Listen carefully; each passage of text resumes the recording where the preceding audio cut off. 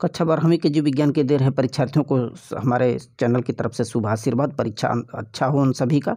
देखिए जीव विज्ञान के बहुत ही महत्वपूर्ण क्वेश्चन इस वीडियो में रखे गए हैं, इनको भी आप ज़रूर एक बार देख लें, क्योंकि बहुत ही इंपॉर्टेंट है और रिपीटिंग क्वेश्चन ये सब हैं। बोर्ड में आए हुए क्वेश्चन है प्रीवियस पेपरों के, खास करके दो हज़ार बाईस के। और जो प्रीवियस पेपर के क्वेश्चन होते हैं ये संभावना ज़्यादा होती है आगामी एग्ज़ाम में आने की। और ख़ास करके एक वर्ष गैप के। तो पहला प्रश्न यहाँ पर देखिए अनिषेक जनन किसमें होता है? अनिषेक जनन ये मधुमक्खियों, टर्कियों और रोटी फर्श में होता है। दूसरा प्रश्न देखिए, बहुत इंपॉर्टेंट एंट्रोजेंस किसमें स्रावित होता है? एंड्रोजेंस जो होता है ना, ये लीडिंग कोशिकाओं में स्रावित होता है, जो लीडिंग कोशिकाएँ होती हैं। और तीसरा देखिए, किन पादपों में सहजीवी संबंध होता है? तो वो राइजोबियम होता है और माइकोराइजा होता है, इनमें सजीवी संबंध होता है। चौथा देखिए, वंशागति की इकाई क्या होती है? वंशागत की इकाई जीन होती है, किसी भी जीव का। पाँचवा है, मनुष्य खाद्य श्रृंखला में क्या होता है? मनुष्य खाद्य की श्रृंखला में उपभोक्ता की श्रेणी में रखा गया है। छठवां देखिए, दो आभासी फलों के नाम बताइए। तो आभासी फलों में सेव है, आपका नाशपाती है। और सतवां देखिए एंट अमीबा द्वारा उत्पन्न बीमारी का नाम बताइए। तो एंट अमीबा द्वारा अमीबी पेचिस होता है। एंट अमीबा हिस्टोलिटिका स्वयं है, उसी के द्वारा फैलता है। और प्रश्न नेक्स्ट। अठवां भ्रूणपोष में गुणसूत्रों की संख्या कितनी होती है? तो भ्रूणपोष में गुणसूत्र की संख्या तीन एक्स गुना होती है। और जल परागित पादप कौन से होते हैं? तो वो हाइड्रिला होता है। और अगला है, टाइफाइड के रोगजनक का नाम बताइए। तो टाइफाइड का रोगजनक सलमोनेला है। और नेक्स्ट है, भ्रूणपोष रूपोस की जो कोशिकाएँ होती हैं, वो कैसी होती हैं? वो त्रिगुणित होती है, त्रिगुणित होती हैं। डेंगू बुखार का वाहक कौन होता है? एडिज होता है, एडिज। फिर अनिषेक फलन क्या है? तो देखिए, कुछ पादप में बिना परागण के और बगैर निषेचन के ही डायरेक्टली फल बन जाते हैं। उनको अनिषेक फलन कहते हैं, जैसे केला हो, केला है, अंगूर है, ये सब होते हैं। और अगला देखिए, द्वि निषेचन, दोहरा निषेचन किसमें होता है? दोहरा निषेचन जो है ना, आवृत्ति बीजी जीवों में होता है। और अगला देखिए, डीएनए का रासायनिक, डीएनए का रासायनिक चिकू किसे कहा जाता है? डीएनए का जो रासायनिक चिकू है, वो एंड्रो न्यूक्लियज को कहा जाता है एंड्रो न्यूक्लियज और अगला क्वेश्चन देखिए, विषाणु का अनुवांशिक पदार्थ कौन होता है? तो विषाणु का अनुवांशिक पदार्थ डीएनए या आरएनए होता है, डीएनए या आरएनए होता है। जन्मजात उपाचयी त्रुटि कौन होता है? तो जन्मजात उपाजयी, उपाचयी जो त्रुटि होता है, वो फिनाइल कीटोनूरिया को बोलते हैं। Phenyl ketonuria. अगला क्वेश्चन है, एक पराग कोष में पराग धानियों की संख्या कितनी होती है? तो टोटल दो होती है। पराग धानियों की संख्या दो होती है। और अगला है, प्रत्येक प्रतिरक्षी अणु में कितने पाली पेप्टाइड श्रृंखलाएँ पाई जाती हैं? तो चार वो होती हैं। टोटल संख्या उनकी चार होती है पॉलीपेप्टाइड श्रृंखलाओं की। मेंडल के द्विसंकरण का फिनोटाइपिंग अनुपात क्या होता है? वो नौ संबंध, तीन संबंध तीन संबंध एक होता है। गुणसूत्र विकार का उदाहरण क्या होता है? तो गुणसूत्र विकार का उदाहरण टर्नर और सिंड्रोम होता है। Turner, syndrome. टीबी तक के टीबी टीबी के जो टीका होता है, उसका नाम पूछ रहा है, बीसीजी होता है।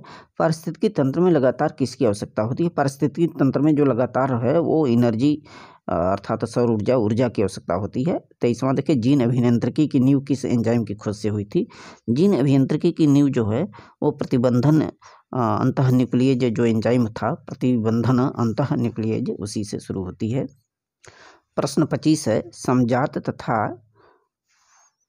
प्रश्न चौबीस से समझा था समरूपता क्या है? देखिए, समझात क्या बोलते हैं? ऐसे अंग को जो मूल रचना और उद्भव में, यानी उत्पत्ति में समान होते हैं, किंतु कार्य और उनका अलग होता है, वो समझात कहलाते हैं। लेकिन समरूपता क्या होता है? तो ऐसे अंग जो रचना और उत्पत्ति में भिन्न होते हैं, लेकिन कार्य में एक जैसे होते हैं, उनको समरूपता कहते हैं। प्रश्न अगला है, पच्चीसवां, सूक्ष्म जीवों से प्राप्त होने वाले दो अम्लों का नाम बताइए। तो जो सूक्ष्म जीव होते हैं, एक तो होता है आगजहली कमल जो स्पर्जिलस नाइजर से प्राप्त होता है, दूसरा होता है फिम fumaric acid fumaric acid Rhizopus stolonifer से प्राप्त होता है। तो यूटलो राइजोपस स्टोलोनिफर से प्राप्त होता है। अगला क्वेश्चन है कि दूध से दही कौन से बैक्टीरिया बनाता है? वो लैक्टोबाइसिलस उलगेरिकस बैक्टीरिया होता है। प्रतिबंधन एंजाइम क्या है? तो वे एंजाइम जो डीएनए को विशिष्ट स्थलों पर काटते हैं, उनको प्रतिबंधन एंजाइम कहा जाता है। जैव विविधता क्षति के दो कारण बताइए। जैव विविधता क्षति के दो कारण होता है कि ज़्यादा से ज़्यादा अतिदोहन होता है, फिर आवासीय क्षतियाँ होती है, जिसकी वजह से। अगला है, जैव विविधता हॉट स्पॉट क्या है? देखिए, ऐसे जो है क्षेत्र होते हैं, जिनमें उच्चतम स्तर की जो प्रजातियाँ होती हैं, प्रजातियों की जो विविधता पाई जाती है उनको हम जैव विविधता के अंतर्गत रखते हैं, खास करके संकटग्रस्त प्रजातियाँ मानी जाती हैं।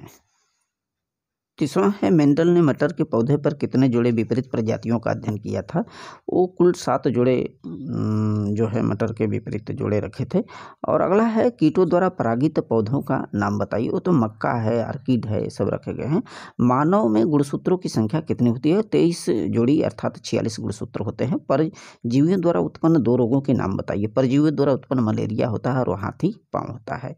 सहभाजिता क्या है? देखिए, सहभागिता का मतलब दो ऐसे जीव जातियाँ होती हैं जिसमें सहजीवन पाया जाता है। एक जीव दूसरे पर आधारित होता है, लेकिन दूसरा पहले पर आधारित नहीं होता।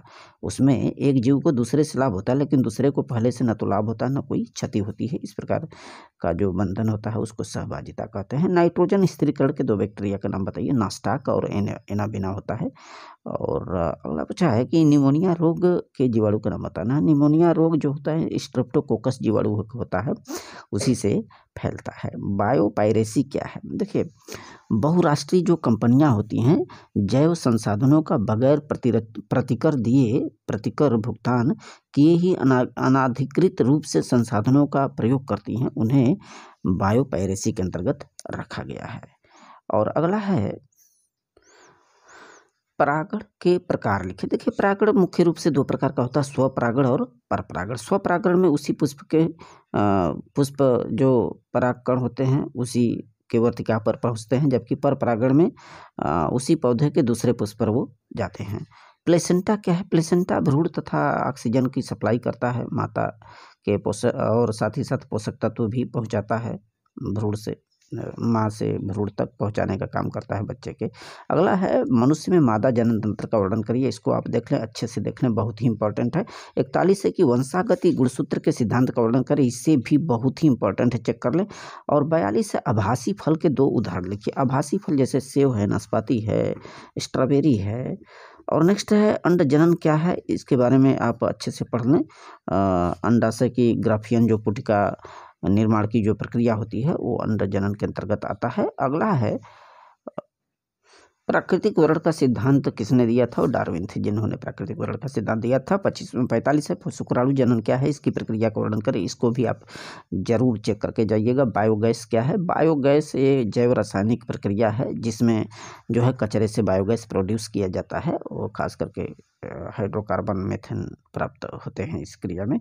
और अगला है मलेरिया का रोगजनक लक्षण और बचाव। इसको भी देख लीजिए। लिंग निर्धारण क्या है? मानव तथा मधुमक्खियों में लिंग निर्धारण को समझाना है। बहुत इंपॉर्टेंट है। डीएनए और आरएनए की पॉलीन्यूक्लियोटाइड श्रृंखला का रासायनिक संरचना देख लीजिए। डीएनए और आरएनए में क्या अंतर है? इसको भी स्पष्ट करिए। प्रवृत्ता का नियम इसको भी समझिए। उत्पादक और अपघटक में क्या अवघटक में क्या अंतर है? ये सभी इंपॉर्टेंट क्वेश्चन सभी को चेक करें। बहुत बहुत धन्यवाद। थैंक्स